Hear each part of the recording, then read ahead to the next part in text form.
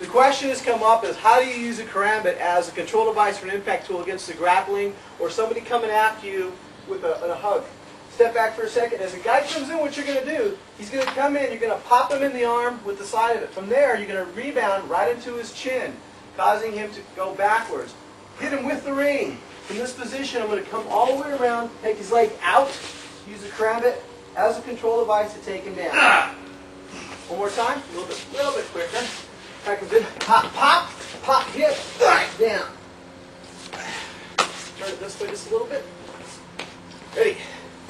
Go. Pop, pop, hit, down. Okay, use the karambit as a control device. As the opponent comes in, we're going to hit the arm, go right to the face. When this happens, we're going to do the check, use the tip of the karambit into the hip, causing him to go. Stand up again. Notice that drives the elbow right to the face. From this position, I'm going to come through, take him down, use the karambit as a control device to take down. One more time.